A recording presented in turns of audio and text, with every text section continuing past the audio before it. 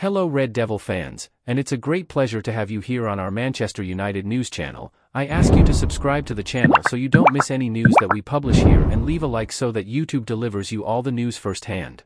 Now let's go to the news. Manchester United's defender, Raphael Varane, disclosed in an interview with the French newspaper L'Equipe that he has been experiencing the effects of concussions throughout his career. Varane, at 30 years old, mentioned that he played numerous games for both the club and the national team while dealing with the effects of head injuries, resulting from headers and recurrent collisions during matches. He expressed his desire to raise awareness about this issue, which he considers to be undervalued in modern football. The first time I heard about microconcussions was this season when specialists came to talk to us about it.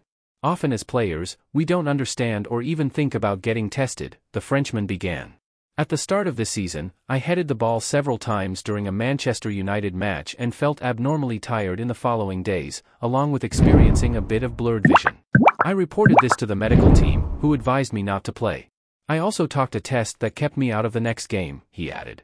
This problem prompted Varane to increase awareness about concussions and become one of the athletes advocating for the cause to alert other players about its seriousness.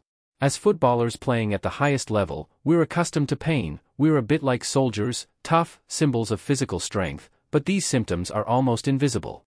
If your leg hurts and you limp, everyone sees it. But with head injuries, it's immediately weaker to say that you're tired, have a headache, or eye fatigue. So, initially, we tell ourselves that it will pass. The French defender revealed that changes need to be made in football to ensure that athletes are not exposed to so many head traumas. Even if it doesn't cause immediate trauma, we know that repeated shocks can have harmful effects in the long term. I don't know if I'll live to be 100 years old, but I know I've damaged my body. Leave your comments, because we at the Red Devil channel would be very happy to hear from you what you think about our content.